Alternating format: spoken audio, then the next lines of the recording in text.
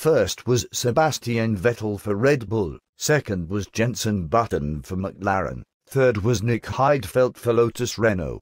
His first podium for them. Fourth was Mark Webber for Red Bull, fifth was Felipe Massa for Ferrari, sixth was Fernando Alonso for Ferrari, However Alonso was given a 20-second time penalty for causing a collision between Lewis Hamilton, 7th was Kam Kobayashi for Sauber, 8th was Lewis Hamilton for McLaren. He was given a 20-second time penalty for making more than one change of direction while defending his position.